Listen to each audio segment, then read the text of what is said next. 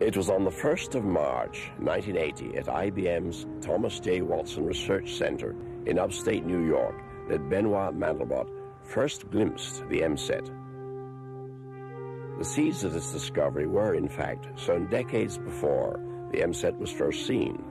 In Paris in 1917, a mathematician called Gaston Julia published papers connected with so-called complex numbers.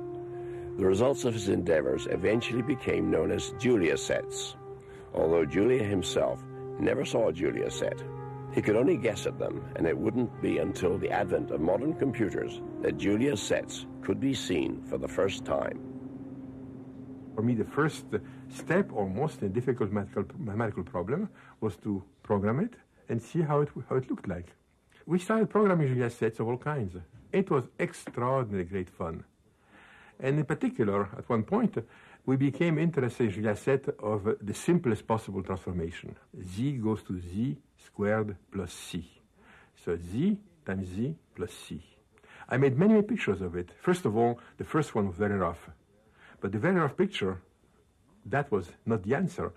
Each rough picture asked a question, so I made another picture, another picture, another picture. And then observations came up. For example, initially we had this uh, Julia as a big black blob, like people call it a bug, and um, and then when the bug became more more precisely uh, drawn, there was all kinds of junk around it.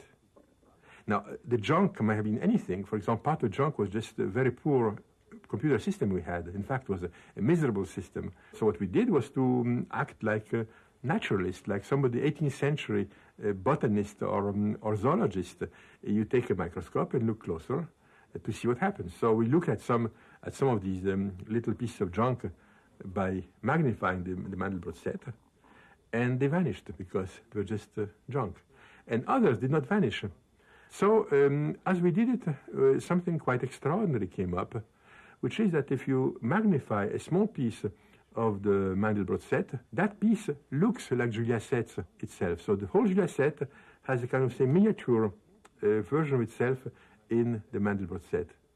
And after a few weeks, we had this uh, very strong, overwhelming impression that this was a, a kind of big bear we have encountered.